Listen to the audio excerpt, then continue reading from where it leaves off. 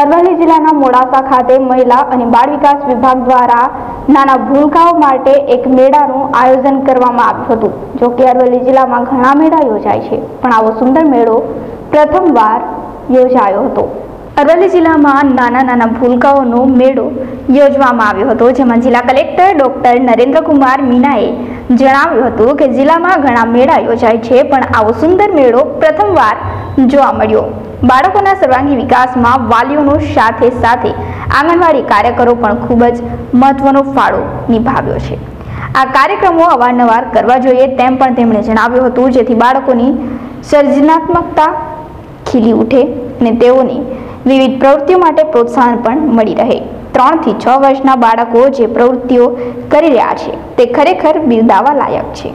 બાળકોના ભાષા વિકાસ અને સર્વાંગી વિકાસ માટે આંગણવાડી કાર્યકરો દ્વારા બાળકોનો પાયો મજબૂત બનાવવામાં આવી રહ્યો છે. આ કાર્યક્રમમાં બાળકોની સાથે તેમના વાલીઓ પણ હાજર રહ્યા હતા અને પોતાના બાળકોની આવી પ્રવૃત્તિઓ જોઈને તેઓ પણ પ્રભાવિત થયા હતા.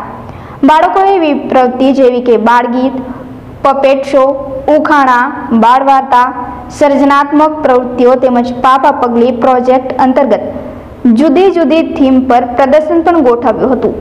આ કાર્યક્રમ કરવા પાછળનો મુખ્ય ઉદ્દેશ્ય ભૂલગાંવમાં રહેલી સર્જનાત્મક શક્તિને બહાર લાવવાનો હતો.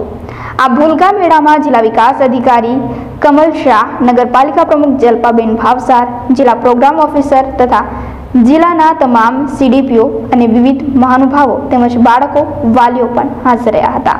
મહેન્દ્ર પ્રસાદ, આરએન ન્યૂઝ અરવલ્લી.